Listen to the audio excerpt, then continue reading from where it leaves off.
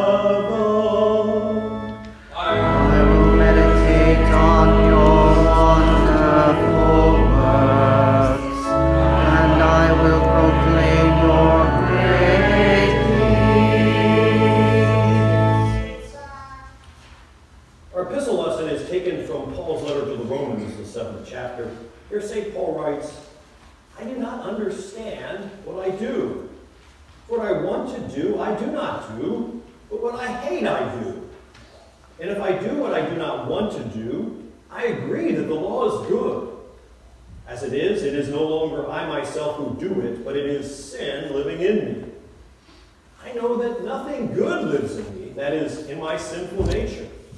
For I have the desire to do what is good, but I cannot carry it out. For what I do is not the good I want to do. No, the evil I do not want to do, this I keep on doing. Now, if I do what I do not want to do, it is no longer I who do it, but it is sin living in me that does it. And so I find this law at work. When I want to do good, evil is right there with me. For in my inner being, I delight in God's law, but I see another law at work in the members of my body, waging war against the law of my mind, and making me a prisoner of the law of sin at work within my members. What a wretched man I am. Who will rescue me from this body of death? Thanks be to God through Jesus Christ our Lord. This is the word of the Lord. Thanks be to God. We rise for the reading of the Holy Gospel.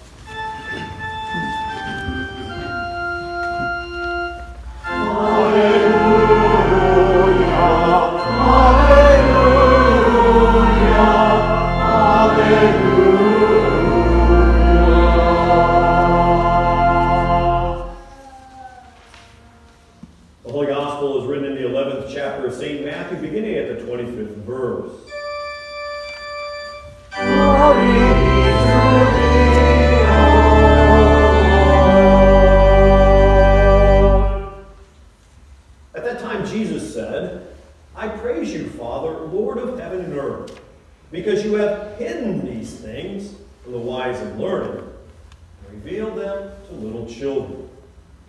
Yes, Father, for this was your good pleasure. All things have been committed to me by my Father. No one knows the Son except the Father, and no one knows the Father except the Son, and those to whom the Son chooses to reveal him. Come to me, all you who are weary and burdened, and I will give you rest. Take my yoke upon you and learn from me, for I am gentle and humble in heart, and you will find rest for your souls. For my yoke is easy, and my burden is light. Here endeth the gospel.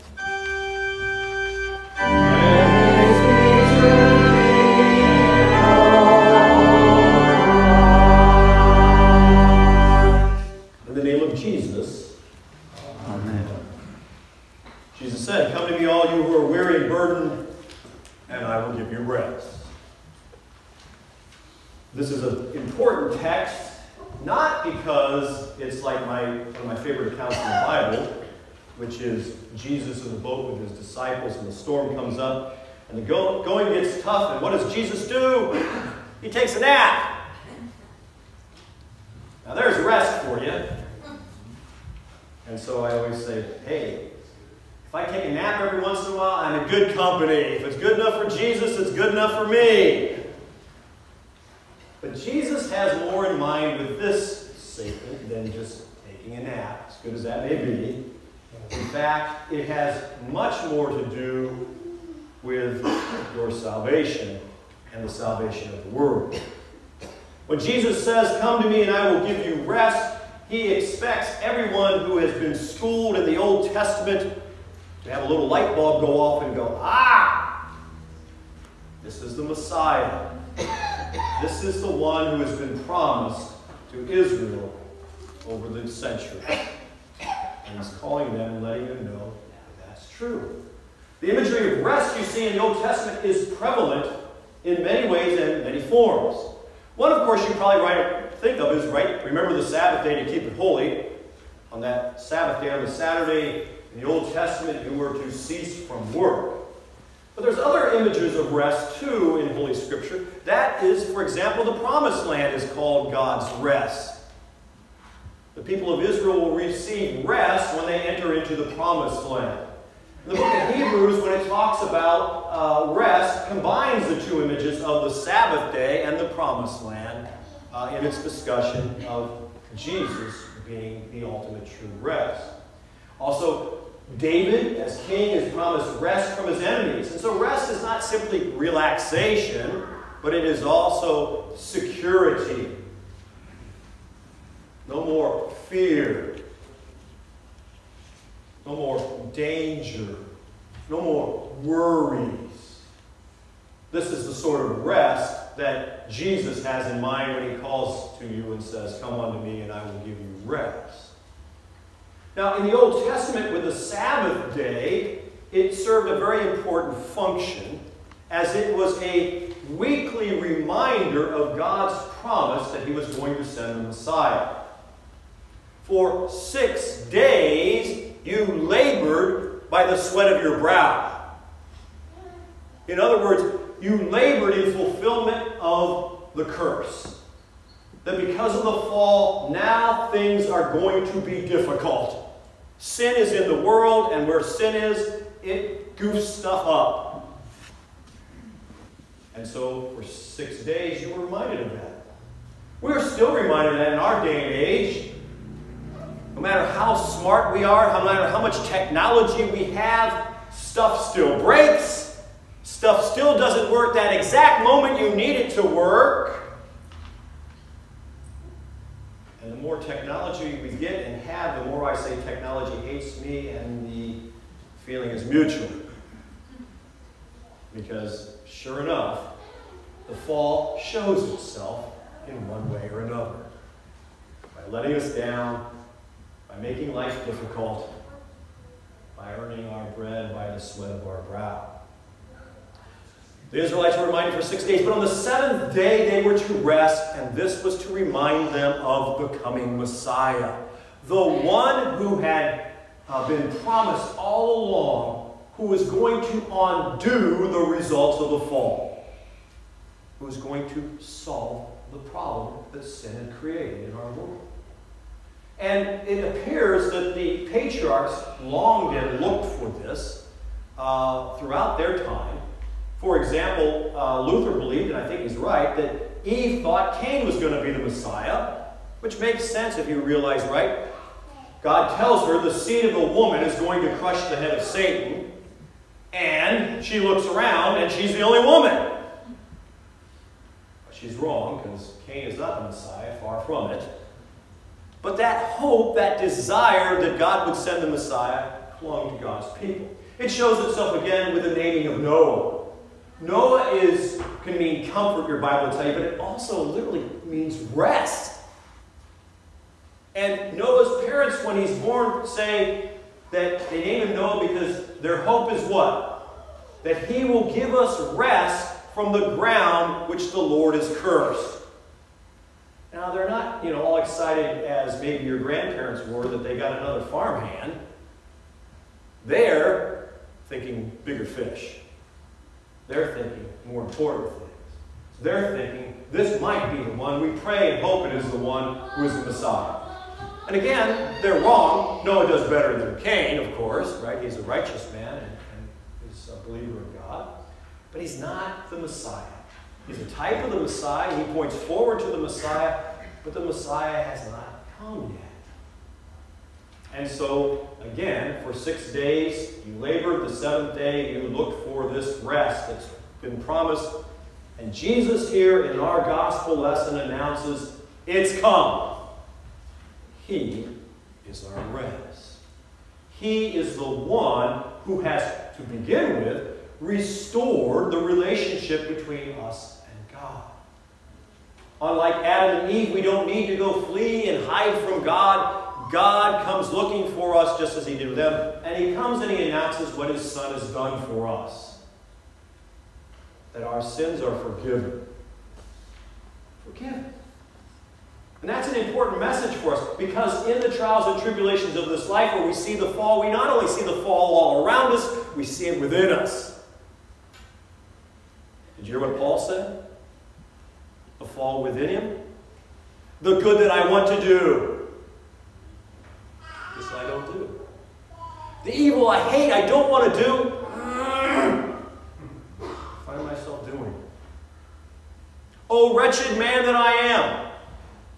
He longs for the ultimate rest, but he knows where rest is to be found, and it has come to us in our justification before God through Christ. And that's what he says. Who will rescue me from this body of death? Thanks be to God through Jesus Christ our Lord. The one who has restored the relationship, given us rest with the Heavenly Father, will also return and reestablish perfect rest for us. He will return things to the way they were intended to be, and we will no longer have to fight the ravages of the fall. This means we have not a Sabbath day, but a Sabbath person. Our Lord and Savior Jesus Christ. Now, part and parcel of understanding, of course, is to recognize and see that everything in the Old Testament is pointing forward to the Messiah. Imagine that. That what God is doing in the Old Testament with his requirements, with his gathering of people of Israel, and everything that he does in every shape and form, is to prepare God's people for the coming Messiah. The sacrifices prepare you for the substitution that had to be made by the Lamb of God, the Lamb of God, Jesus Christ, in your behalf. The temple where God dwells with his people is found now in the temple of Jesus Christ as God and man have become one. And the Son of God is now our brother. These things are what the Old Testament's pointing forward to. And so we no longer have a Sabbath day, but we have a Sabbath person. The whole issue of the Sabbath, by the way, there's three opportunities, uh, three options out there, rather, uh, to understand it, not counting the one I just gave you, which I think is the right option. Right? But there are three that are out there. One, it would be held by Seventh-day Adventists and probably and by Jews today, right? And that Saturday is the Sabbath, and it's still binding. And it's still God's desire that you keep Saturday Sabbath. And the thing about that particular uh, position is that's good about it is it does have biblical witness. The Bible does say that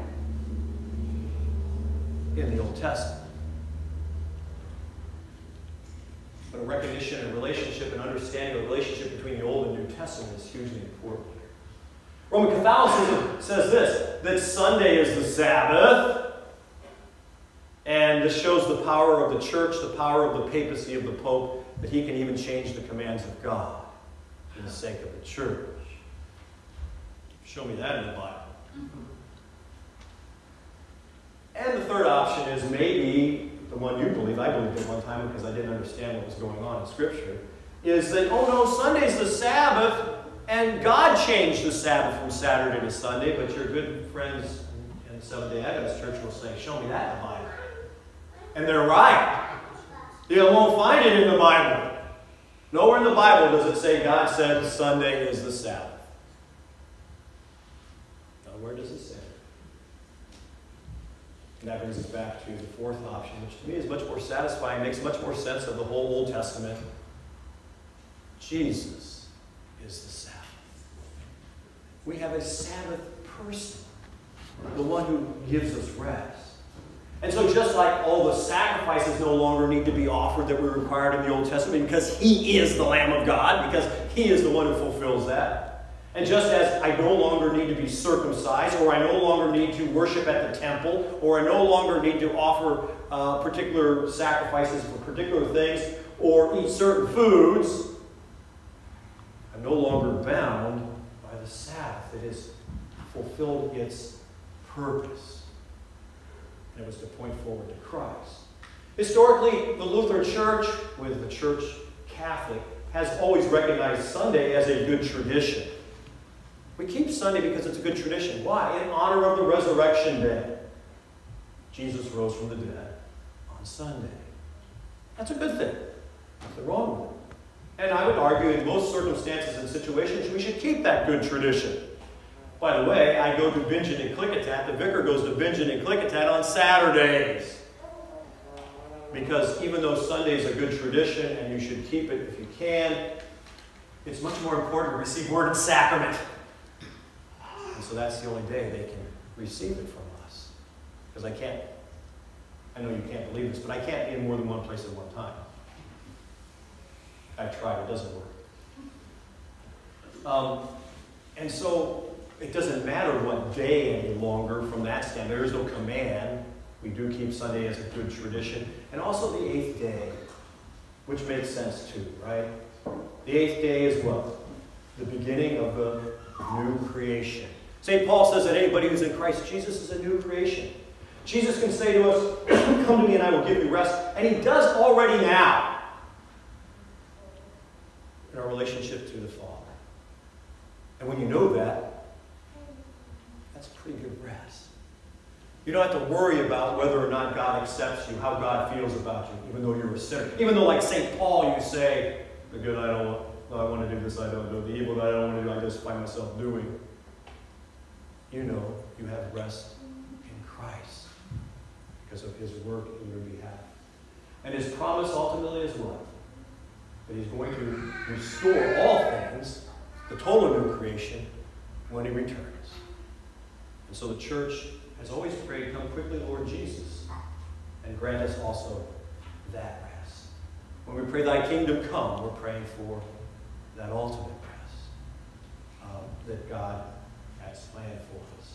I've mentioned this before. Uh, when I get up sometimes out of, you know, off the ground floor, or I'm doing some work or something like that, and I moan and groan, my wife says to me, What's that? I say, Old man noises. And then I say, Well, actually, it's new man noises. It's my body doing what? Who will rescue me from this body of death? Thanks be to God through Jesus Christ our Lord. There will be a new creation. Lord Jesus, thy kingdom come. Amen. And now may the peace of God, which surpasses all human understanding, keep your hearts and your minds in Christ Jesus always.